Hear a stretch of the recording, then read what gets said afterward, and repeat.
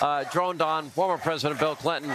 Anyway, here with reaction, uh, our friend, Louisiana Senator John Kennedy. Uh, Senator, we wish you were here in Chicago with us, but I'm sure you're happy wherever you are. I don't know if you're in Washington or Louisiana.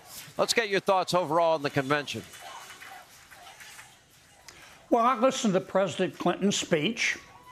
Um, my, my, mother did not raise a fool, and if she did, Sean, it was one of my brothers. uh, the speech to me was basically a baloney blizzard. He, uh, he talked about growth from the bottom up and the middle out. The only thing I see growing from the bottom up and the middle out under, uh, under Harris Biden is, uh, is uh, prices, our prices, uh, crime, and illegal immigration. Uh, Pre- President Clinton was right about one thing. He said uh, we've got a decision to make, and it's either it's either Trump or Harris. There is no door number three. For me, that is a choice between hope and more hurt. I remember what inflation and crime and the border and national security was like under President Trump, and I know what it's like under uh, under Ms. Harris and Mr. Biden. Um, that dollar in your pocket is worth 80 cents today, thanks to the uh, Harris Biden team.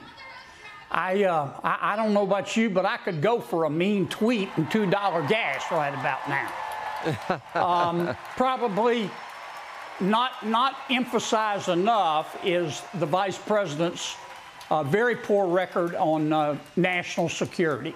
Every, every uh, budget that she and, uh, and President Biden have submitted to Congress, every single one cuts defense.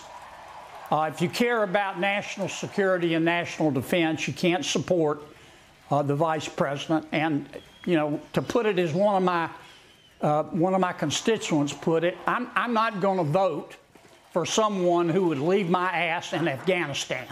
And that's exactly what the vice president and the president of the United States did. I know the vice president well. I don't hate anybody, but I know her well. I served in the Senate with her. She's AOC without the bartending experience. She is a San Francisco Democrat, and that's just the bottom line. And that's really what the election is going to be about. And I think the country now is, is going to have to go through a period of really understanding who she is, the things, the position she's taken, the statements that she's made, and uh, there's never been anybody that has this plethora of of radical views that are out there in the open. The media is not showing it. We'll continue to show it, and I, I do believe at some point it will it will get into the the American culture and the bloodstream and the consciousness of the American people. And I think at that point, it's a very different race. Would you agree with that, Senator? Yes, and if you look at the vice president's record, uh, she helped cause the worst inflation that America's had in 40 years. Uh, her plan for price controls will make it worse. Her plan to raise the corporate income tax will cut wages for all of us at a time when people desperately need them. Uh, she has compared our Border Patrol agents to members of the Ku Klux Klan. She wants to get rid of private health insurance. Uh, her running mate wants to put um, uh, tampons in every boy's bathroom throughout America. And, and again, her record on defense she, she thinks we can solve all of our problems with China and Putin and, and the Ayatollah in Iran, in Iran with hugs and hot cocoa. Um, President, Senator, President Biden, uh, President, uh, President Clinton sees that.